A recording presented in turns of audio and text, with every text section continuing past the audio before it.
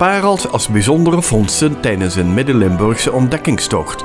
Ontdek de soms verborgen schoonheid en geniet van onze prachtige provincie. Parels uit Midden-Limburg. We staan hier uh, in het Leudal.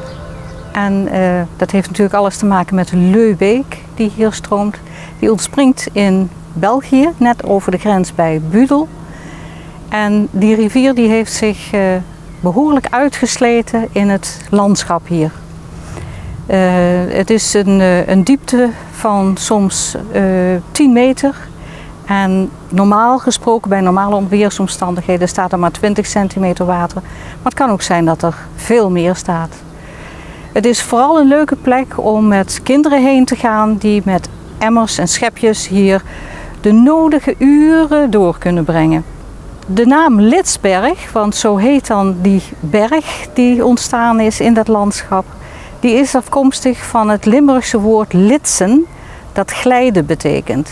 Je kunt dus van die zandberg af glijden zo het water in. Heerlijk op een warme dag.